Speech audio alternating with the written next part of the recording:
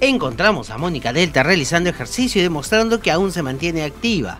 Es que la periodista reveló que prefiere ir en bicicleta todos los días al canal para mantenerse así en forma. La verdad que sí, yo ya hace algún tiempo tomé la decisión de por lo menos ir a mi trabajo y utilizar este medio de transporte que además le hace bien al medio ambiente. Al medio ambiente, ¿no? A la me hace bien a mí, en mi salud mental y, y me mantiene un poquito en forma.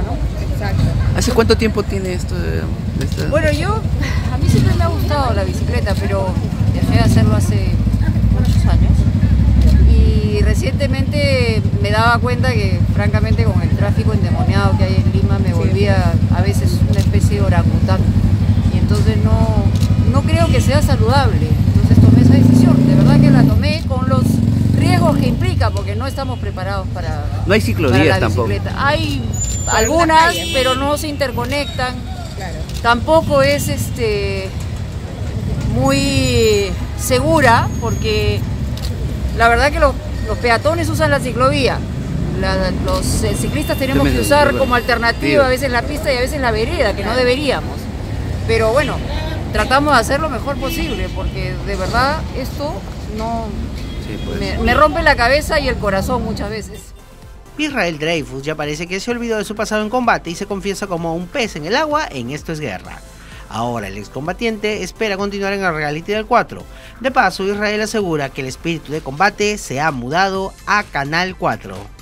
Ahora que, bueno, se va a iniciar una nueva temporada, me imagino de que cómo es tu, tu situación con el canal. ¿Continúas? ¿De repente hay la intención? Sí, claro, obvio, la intención hay, ya depende de cómo se, se dé en el transcurso de la temporada la competencia, eliminaciones, me imagino, no sé. Nadie sabe nada, sabes que nada, nada es seguro en, en televisión. Tú habías dicho que no tenías un contrato hasta diciembre, creo, en una oportunidad. Que no tenías un contrato, digamos, hasta diciembre, como algunos que sí lo tienen, digamos, porque tú recién. Lo, lo que pasa es que la mayoría ha empezado desde principio de año. El grupo que entramos, que nos fuimos a Colombia a participar, este, Claro, empalmamos como que recién hace un par de meses.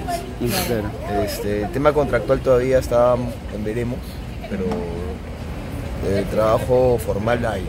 claro. Si, estamos ahí.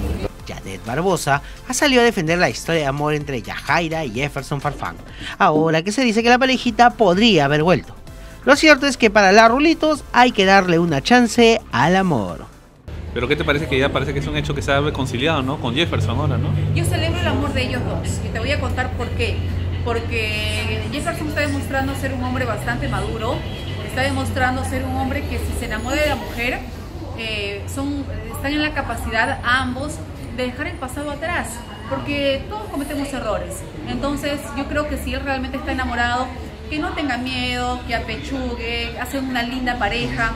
Ella al parecer también es una chica que ha madurado bastante, está más guapa que nunca, entonces me encantan ellos como pareja.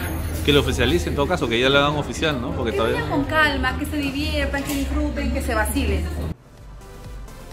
Tilsa Lozano es otra de las figuras que no pierde la oportunidad de hablar de Farfán y los posibles juicios que anunció la madre del futbolista.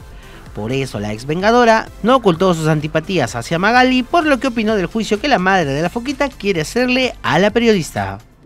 O sea, en realidad, quitemos hacia quién sea la demanda. Yo creo que al final cualquier persona, este, yo lo he hecho cuando te sientes ofendida o sientes que alguien este, denigra o sientes que alguien está mintiendo sobre tu persona, este, que al final tienes el derecho de mandar. Yo también lo he hecho, ¿no? Y, también voy a continuar hasta las últimas consecuencias. O sea, eso ya va a depender de cómo, creo que todos tenemos el derecho a defendernos, o sea, más allá de a quién sea la demanda, porque no, no, no, no es que es algo personal porque es hacia tal persona, ¿no? O sea, al final todos tenemos derecho a, si nos están dañando nuestra imagen, nos están mintiendo sobre nosotros, a, demandar. ¿O tú crees que le está más bien alcahueteando a Jefferson, como se está diciendo? Por... No lo sé, yo no lo sé porque yo no, no, no, no, no pertenezco a ese círculo, no lo sé.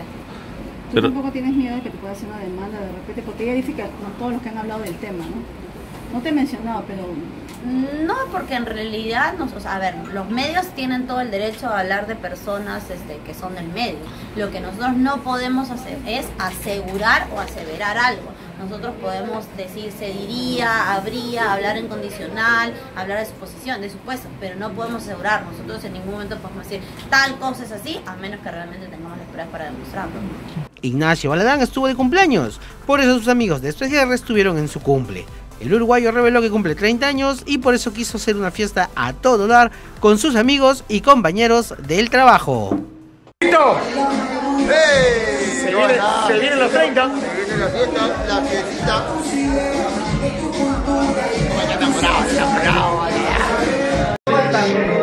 Gracias a Dios estamos haciendo mi cumpleaños número 30 y estoy con dos grandes que me acompañan el día de hoy. Porque obviamente que yo digo, hago mi cumpleaños y bueno, este es mi roommate ya. Eh, Daniel ya es mi roommate, o sea, ya está. Y Víctor ya se vino directamente a Argentina para acá. Gracias. Víctor. No, pero te venía a Argentina, no venía a Argentina. Ya, y Dani, escúchame, vos estás hace dos meses en mi casa. ¿Cuándo te vas a ir, hijo? ¿Cuándo te vas a ir? Mi Karol G. Y el fin de semana, y el fin de semana, que me dijiste que iba a haber algo. ¿Qué va a haber? Contá. No me quiere contar, vos. No quiere contar.